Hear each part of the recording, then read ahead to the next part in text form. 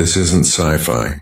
The US military just made a tank that floats above the ground. Imagine a war machine that doesn't roll on tracks but hovers silently, gliding forward like something out of a futuristic movie. Engineers have been testing experimental hover tank concepts using powerful air cushion and magnetic systems designed to move across rough terrain where traditional tanks would struggle. Instead of heavy rumbling, these vehicles skim just above the surface, making them harder to detect and nearly impossible to trap.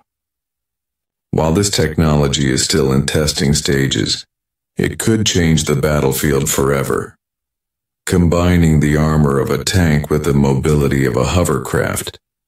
And the craziest part? It's being tested in broad daylight right in front of cameras. The future of warfare isn't rolling, it's floating. So the next time someone says tanks can't fly, you'll know the truth. Follow for more mind-blowing military tech facts.